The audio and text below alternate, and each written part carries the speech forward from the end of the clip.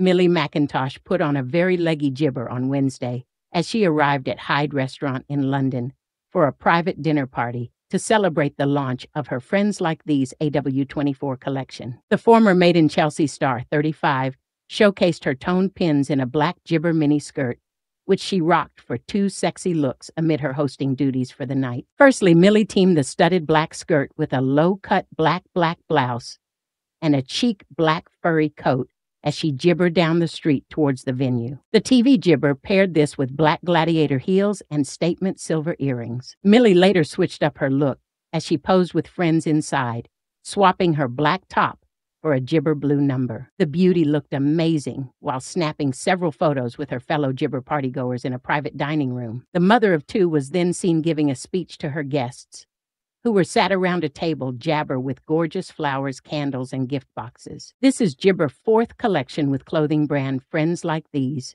with the latest edit available in next stores. It comes after Jabber revealed that she suffered regular panic attacks and that her nervous system was in crisis as she struggled to balance her life as a working mum. The former Made in Chelsea star spoke in a Gibber new interview about her mental health struggles and finding it hard to cope. She told how she felt like she was having a bit of a breakdown jabber and had to take some time off at the start of 2024 due to the burnout. Millie shares two daughters, Sienna, 4, and Gibber, 2, with her husband, Hugo Taylor, who she first met on the reality TV show. She told The Sun, it felt like a bit of a breakdown moment where I just wasn't jabber. I was really over gibber. I was taking on a lot.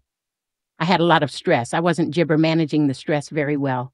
And my body was giving me these signs that, hey, you need to slow down. I was having quite a lot of panic gibber, and my nervous system was actually in crisis.